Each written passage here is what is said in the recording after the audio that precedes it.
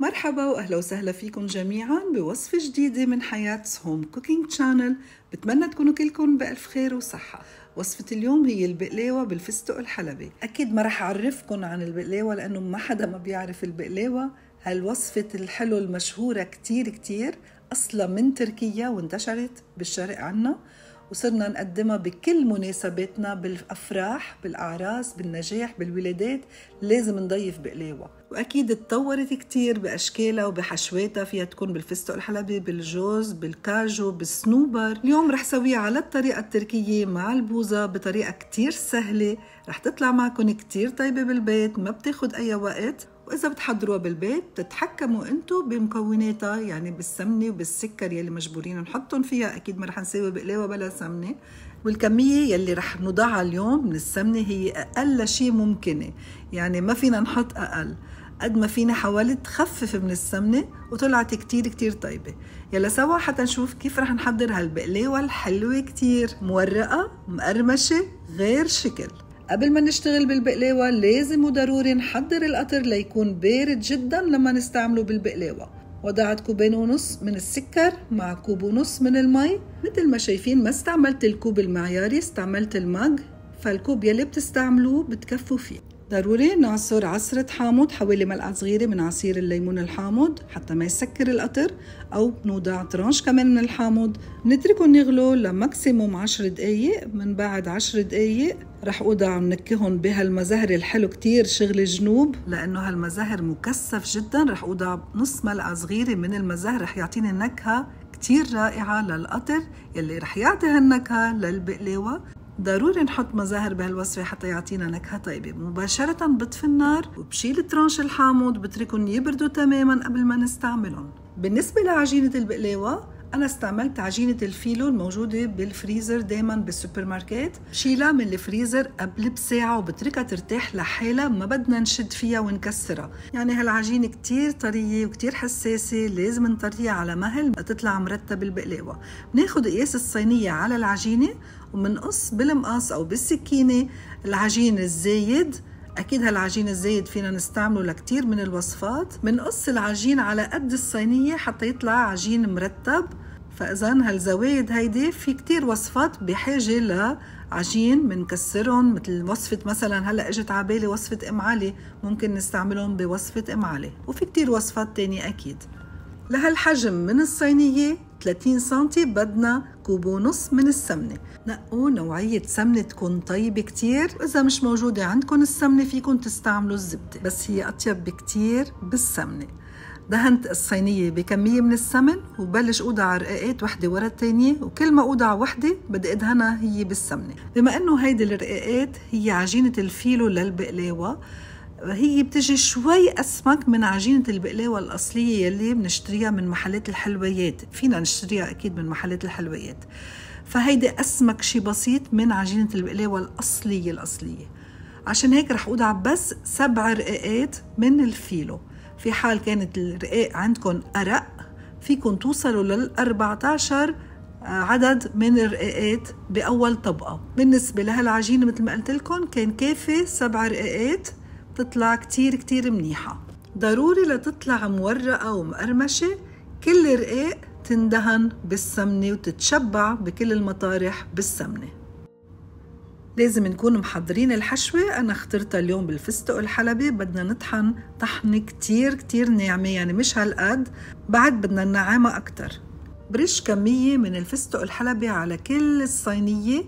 والكمية اللي استعملتها بهالصينية هيدي 300 جرام من الفستق الحلبي منعبي كل المطرح. فينا ننكه الفستق الحلبي إذا بتحبوا نكهة المزهر أو المورد قبل ما نوضعهم على العجين تعطيها نكهة مميزة جدا للحشوة. يعني نحن دايما بلبنان بنحب نعطي نكهة للحشوات من المزهر والموارد وأيام السكر بس ما رح زيد سكر لأنه القطر رح يتشرب كل البقلاوة فما رح نحط سكر أكيد. من بعد ما وضعنا أول طبقة من الفستق الحلبي بنكفي نوضع رقاق بنعبيها بالسمنة.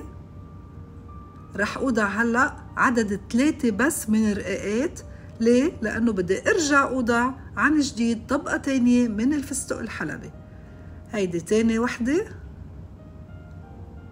وهيدي التالتة. ندهنها بالسمنة. ورح رش طبقة تانية من الفستق الحلبي تطلع عندي غنية كتير طيبة كتير. اشتغلوها مثل ما عم نشتغل وشوفوا شو رح يطلع عندكم نتيجة كمان فينا بما إنه الطبقات بالنص إذا عندكم طبقة مخزقة مش إنه ما بنستعملها فينا نغطيها ونسكرها بهالشكل مثل ما شفتوا. ما رح تبين لأنها هي بالنص. كفي الشغل نفسه بالعجين رح أوضع سبع طبقات بين كل طبقة وطبقة سمنة بنفس الشغل. لنوصل لآخر طبقة منشيل الزوايد عن الجوانب لحتى تطلع مرتبة. رح ندهنها ونسقيها بالسمنة. ضروري كتير البقلاوة تتقطع قبل ما نفوتها على الفرن. عطيتها الشكل يلي مشهورة كتير فيه بتركيا بشوارع تركيا بيقدموا هالبقلاوة هيدي مع البوظة. رح قطعها بهالشكل هيدا وأكيد أنتو بتقطعوها مثل ما أنتو بتحبوا مثل ما بتريدوا. أنتو عم بتقطعوا أول شي نقوا سكينة تكون حامية مزبوط. بدنا نقطع لكعب الصينية مش بس الوجه يعني منقطع للكعب. فإذا أعطيتها هيدا الشكل رح أرجع عن جديد سقيها بالسمنة يعني هيك البقلاوة فرح سقيها بهالكمية الباقية من السمنة بكون استعملنا كوب ونص. بتركها ترتاح تتشرب السمنة لتطلع معي مورقة ومقرمشة. عارفين إنه أصولها ينحط السمنة لوجه العجين لفوق؟ بس نحن ما رح نشتغل هالقد. الكمية كانت كافية وعلى القد. شكلها قبل ما تفوت على الفرن بشهي شو رأيكم؟ شو رأيكم بشكل هالبقلاوة؟ الفرن لازم يكون محمى مسبقا ل 175 درجة سلسيوس لمدة 45 دقيقة أو حتى يتلون وجه حسب الفرن عندكم وتصير بهاللون هيدا بس ما تشوفوها صارت بهاللون هيدا منشيلها مباشرة من الفرن هيدا شكلها بعد الخبز شو رأيكم؟ إذا ملاحظين السمنة كانت على القد شربتها كلها لأنه البقلاوة هي سمنة يعني نحن لما ناكل بقلاوة نشتريها معروف قد إيه البقلاوة مش للرجيم. يعني بدي أعتذر من أصحاب ال diet هيدي الأكلة مش لل diet. هي وسخنة بدنا نسقيها بالقطر البارد جدا. سامعين هالصوت؟ كمية القطر كلها رح نحطها فوق البقلاوة ونتركها ترتاح حتى تتشرب كل كمية القطر. نخبركن شغلة لما يطلع صوتها أقوى من هيك معناتها السمنة أكتر بكتير من هيك.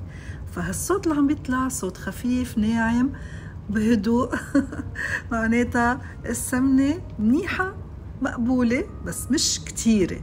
فلما يطلع الصوت هالقرمشة اللي بتسمعوها بمحلات اللي ما بتشوفوها معناتها السمنة كانت مدلوقة كتير على البقلاوة. هالقد كافي أنا برأيي وعن جد إذا بتجربوها بهالكمية هيدي رح تعجبكم كتير كتير. للزينة إذا بتحبوا تزينوها منرش شوية فستق حلبي على وجهها. رح أتركها ترتاح وتبرد وتتشرب كل القطر قبل ما نقدمها. حابة أعرف رأيكم أول شي بشكل الصينية شو رأيكم؟ صراحة كل اللي كانوا عندي انعجبوا كتير بهالقصة هيدي القصة التركية. نحن بلبنان ما بنقصها بهالشكل عادة البقلاوة بتنقص بطريقة آه، صغيرة أو مربعات صغيرة. بس هالقصة هيدي كتير حلوة طلعت فخمة جدا وكأنه سافرنا على تركيا. لحتى نسافر مزبوط على تركيا شو لازم نعمل؟ هلأ بنشوف. بهالمرحلة بردت رح شيلها من الصينية هاي الصينية بتفتح وبشجعكم تشتروا منها كتير بتريح بالشغل. بنشيلها من الصينية بوضعها على صينية التقديم وصارت جاهزة إنه ندوقها ونخبركن عن النتيجة. شو رأيكم النتيجة رح تكون مثل شكلها؟ طيبة؟ هلأ منشوف. قبل ما أقدم هالوصفة بتمنى عليكم إذا حبيتوها ما تنسوني بال like share وال subscribe وما تنسوا تفعلوا زر الجرس حتى توصلكم notification إنه نزلنا فيديو جديد. بدي أشكركم من كل قلبي على دعمكم وعلى محبتكم. بتمنى دايما كون عند حسن ظنكم وأقدم لكم أحلى وأطيب الوصفات. وهيدي قطعة البقلاوة. شو رأيكم؟ ملاحظين شكلها كيف طالعة مورقة؟ رائعة جدا. شو في حد البقلاوة؟ في البوزة العربية اللي اشتغلناها قبل هالوصفة هيدي. حضرنا البوزة عربية كتير كتير طيبة بتمنى تجربوها لأنه عن جد ما رح تاكلوا بوزة طيبة قد هالبوزة أنا متأكدة من اللي عم بقلكن إياه. بوزة غنية بالنكهات الرائعة جدا جدا. مثل ما شفتوا فتحت البقلاوة وسهل كتير إنه نفتحها لأنه مورقة بشكل كتير رائع. وبنوضع فيها كمية من هالبوزة الرائعة كمان. وكل الموجودين حسوا حالهم صاروا بتركيا. وقالوا لي عن جد أخدتينا على تركيا من دون ما نسافر. كتير حبوها وطلبوا مني الوصفة. قلت لهم هلأ بتشوفوها على اليوتيوب بعد كم يوم. وهلأ بقلكم هيدي الوصفة وهيدي التفاصيل صار فيكم تجربوها بكل حذافيرها. واشتغلوها مثل ما اشتغلتها. رح تطلع عندكم كتير طيبة. الوصفتين تابعين لبعضهم اثنيناتهم رائعين جدا جدا. الصينية صراحة ما ضاينت لأنه مين ما إجا لعندي صار بده يدوق هالبقلاوة مع البوزة. بالفترة يلي عملت فيها البقلاوة إجاني كتير ضيوف لدرجة رجعت عملت صينية تانية وضيفت وعن جد كتير انعجبوا وكتير حبوا هالوصفة هيدي. بتمنى إنتو كمان تجربوها وتنعجبوا وتحبوا هالوصفة هيدي وتنبسطوا فيها مثل ما نحن انبسطنا فيها. أكيد فيكم تقدموا البقلاوة من دون بوزة يعني بقلاوة سادة.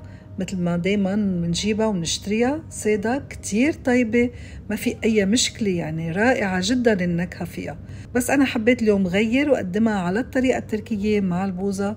لحتى نحس حالنا شوي غيرنا بالبقلاوة. وصفة البوزة العربية كتير كتير سهلة رح تتفاجئوا قد سهلة. رح أوضع ال link بال description box إذا حابين تشتغلوها. بالنسبة لهالأكلة كيف بناكلها إجت بنتي بدها تاكل بالشوكة والسكينة. قلت لها mom امسكيها بإيدك. مثل ما بناكل البقلاوة ما بنستعمل شوكة وسكينة. بنمسكها بإيدنا وبناكل وألف صحة وهنا على يلي بده يجربها وبده ياكل هالوصفة هيدي. سمعتوا القرشة؟ كتير كتير طيبة. وصفتي لليوم خلصت. بشكر كل شخص وصل معي لآخر الفيديو. بشكركم على المشاهدة وبشوفكم بفيديو جديد قريبا جدا. باي باي.